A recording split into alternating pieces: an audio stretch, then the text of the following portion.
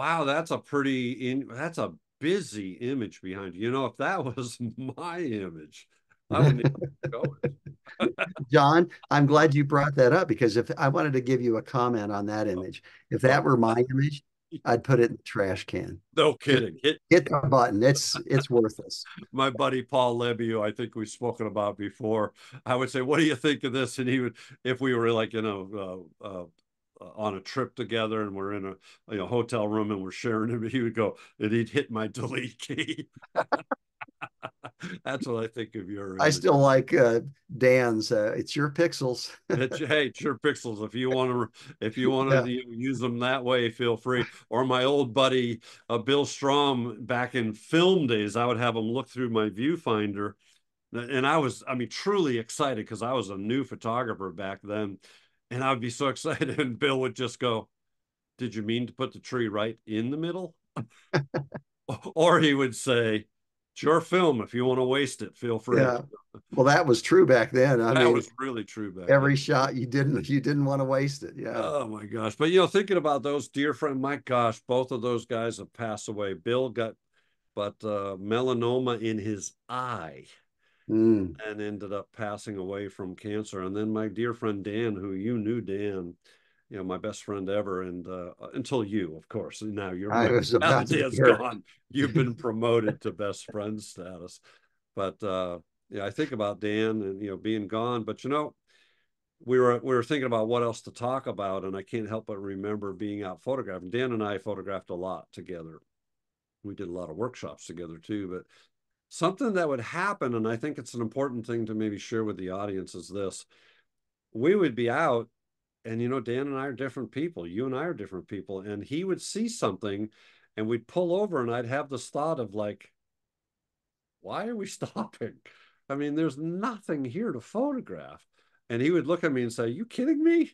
He said you you don't see that over there? And i'd say it's just not doing anything for me dan. I'm sorry. So literally i would sometimes just stay and look at my phone in the car you know yeah. take a nap eat an apple do something. And you know and and sure enough that same darn day we'd be out in the afternoon and i'd say dan dan dan stop stop stop. And he'd be like why? It's noon horrible harsh light john. What do you see? It's like would you just trust me and turn the damn car around? I want to go back and photograph that spot you know? And he would just look at me like i don't get it and the point of all that i bring this up for is you know sometimes it's okay to give yourself permission to that you're not feeling it, that you're not seeing it. But I don't know about you, Cole, but in those moments when Dan was going, oh, man, I got to stop. I'm like, what's wrong with me? Why hmm. can't mm. I see what he's seeing? Oh my gosh, he's so much more creative than I are. He's a better for I am, a better photographer than I am, you know, and, and that stuff that we talk about all the time is just so hard. So I really like you had to to learn to be creative and get beyond all that tech 30 years of that wasteland that you're in that you talked about. For me, it's hard. I'm a professional photographer.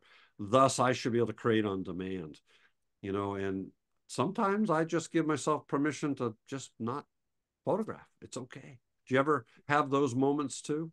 Sure, and that's why I don't like photographing with other people yeah. because I might stay somewhere for hours and hours and hours, and you know, here I'm I'm worried. Oh, they're sitting there with that look. You know, I got to go, and I hate that. But I've got two thoughts. Two, I've had two different feelings when that's occurred for me. The one is I'm just not feeling it today. Yeah. Versus what's wrong with my vision that I can't see something here? Wait a minute, maybe my vision doesn't see anything here, and that's okay too. Okay. Um, because we do see different. We've all had the experience of standing at a location, and uh, two people will come home with vastly different interpretations. Yeah. We see differently, and that also means that sometimes you'll want to stop, and I'm thinking why, or vice versa. Yeah. And yeah. sometimes we're just not in the creative mood. We in our workshop we had uh, I I forget which workshop we had somebody who said they've been in a photographic slump. Yeah, and I've oh, Randy, a lot of times. Randy, that on the first day, that's what he said. I've just been in a slump, and then he put us on the spot, and he said, "I'm hoping you guys can help get me out of it." And I think you and I looked at each other and went, How the hell do we do that? Slumps serve a purpose, I believe. I don't think we should run from them or hate them. Yeah. Just as I've, sorry for repeating myself, just as a, fa a farmer leaves a field fallow for a season to rejuvenate it, sometimes we just need to relax, let go, and not be worried.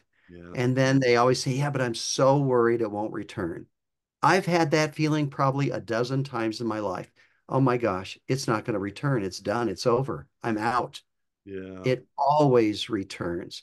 Relax, let go, enjoy the downtime, uh, take some long naps, read some books. And at some point, you're just going to start feeling creative again. Yeah. That's my experience always. Yep.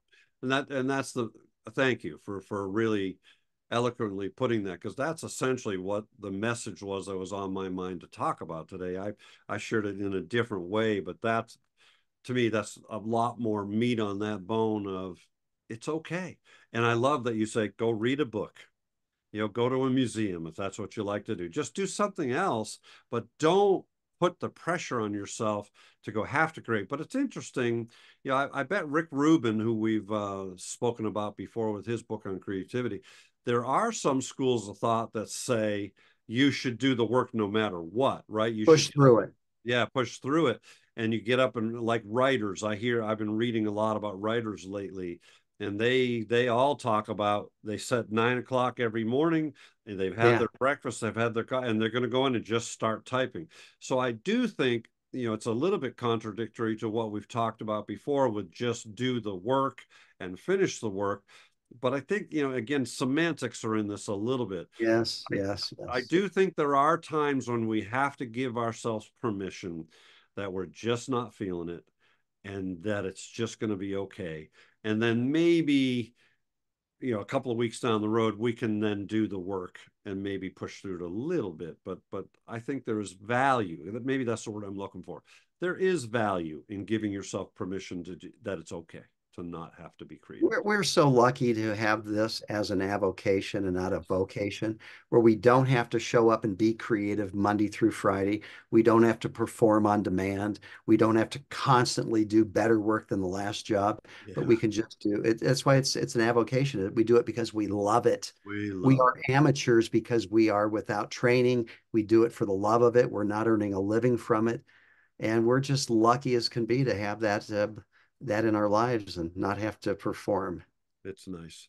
Well, it's been a good session. You know, I, uh, it's been what six or maybe eight weeks that we've been doing these with the same shirt. So I'm, I'm sure starting to stink. We should probably go to the dry cleaners next. But Cole, always good to be. Where are you off to next? You're going to Hawaii for a month, aren't you? I'm going to Hawaii. Yeah. Yeah, good. Well, that's great. Enjoy. And I'm off to uh, Charleston and uh, and then down to the Smoky Mountains, which is uh, yeah. one of my favorite places. I love the Smokies. I, I, I would say we have a spot open, but by the time this one airs, we'll be in the Smokies probably. But uh, yeah, yeah. Good to see you, buddy. Enjoy Hawaii. Hey, see you.